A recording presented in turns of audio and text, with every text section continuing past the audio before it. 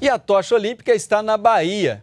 No domingo, o símbolo olímpico foi recebido com muita festa pelos moradores de Cairu, Itacaré, Camamu, Ituberá e Valença. Hoje, ela esteve em Lençóis, cidade baiana. Lá, ela desceu de rapel até a gruta da Pratinha. E amanhã, a chama dos Jogos Rio 2016 chega à capital baiana. Salvador se prepara para receber a tocha, que vai passar o dia na cidade.